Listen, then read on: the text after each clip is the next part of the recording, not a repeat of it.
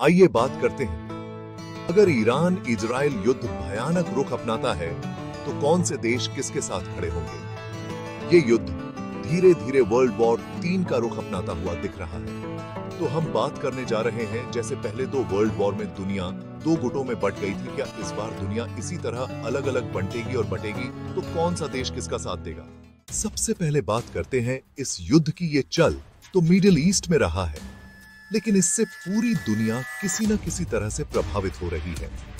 इससे सभी देश अपना अपना सपोर्ट दोनों के बीच दिखा रहे हैं या उनके बयानों के माध्यम से नज़र आ रहा है। सबसे पहले बात करते हैं इजराइल की। आखिर कौन से देश इजराइल के साथ होंगे?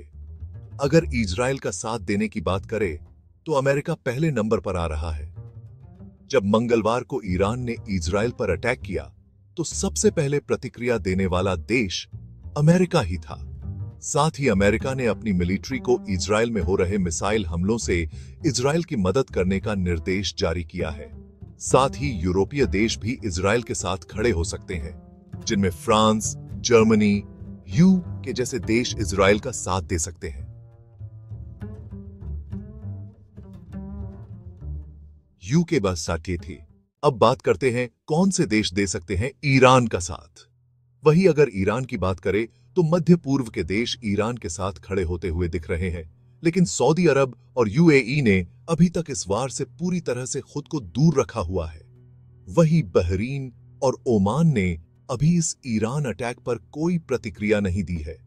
इसराइल के विरोधी देश ईरान का साथ दे सकते हैं और रूस और चाइना भी।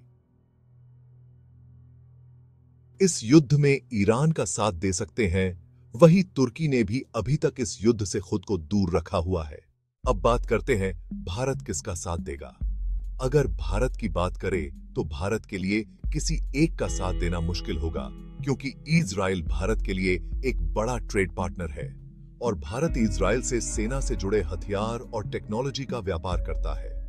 साथ ही ईरान से भी दोस्ती बनाए रखना ज़रूरी है। क्योंकि भारत ने चार बाह बंदरगाह पर बड़ा इन्वेस्टमेंट किया हुआ है और भारत ईरान से कच्चा तेल और नेचुरल गैसेस निर्यात करता है।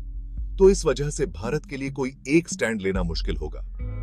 अभी तक भारत सरकार ने इस पर कोई प्रतिक्रिया नहीं दी है।